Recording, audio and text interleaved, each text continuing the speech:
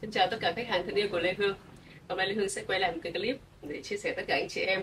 À, thì trong lúc nhà cũng đang rất là bừa bộn và nhiều hàng thì Lê Hương xin phép được chia sẻ là tất cả các anh chị em là doanh nghiệp, là các công ty, là các khối doanh nghiệp uh, có mặt tại Đồng Nai hoặc là khu vực miền Nam, ai mà có nhu cầu về may đồng phục cho công ty mình hay là cho văn phòng của mình thế liên hệ với Lê Hương. Thì Lê Hương đang có rất nhiều cái sơ mi đang đóng hàng để chuẩn bị trả hàng.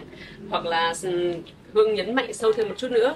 À, sắp Tết rồi thì rất nhiều các ờ, anh chị em mình có nhu cầu may đồ, có thể là may đồ ờ, cho con sang bên Mỹ hoặc là ờ, về Việt Nam chơi và may đồ để qua bên Mỹ. Bởi vì là dáng của Việt Nam hoặc là phong dáng Việt Nam thì nó rất phù hợp với người Việt Nam.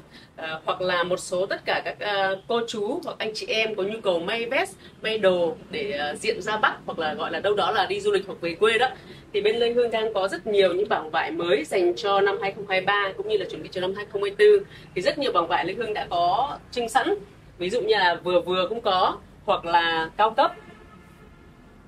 Thì nếu như anh chị em nào mà có nhu cầu may đồ hoặc là thiết kế đồ, thì cứ liên hệ với Lê Hương. Thì Hương thì chuyên may âu phục và may ờ, may đo thiết kế về quần âu sơ mi hoặc là vest, măng tô thì nếu mà ai mà có nhu cầu thì cứ liên hệ với Lê Hương theo số điện thoại là 0948 95 4848 thì Lê Hương sẽ trực tiếp tư vấn cho tất cả anh chị em mình có những bộ âu phục hoặc bộ trang phục, các bộ suit phù hợp với giá tiền cũng như là form dáng cũng như là mẫu vải dành cho cá nhân mình. Xin chào và hẹn gặp lại tất cả anh chị em. Rất mong tất cả các anh chị em sẽ nhận được những clip này để liên hệ và được Lê Hương tư vấn trực tiếp nhé. Xin chào và hẹn gặp lại.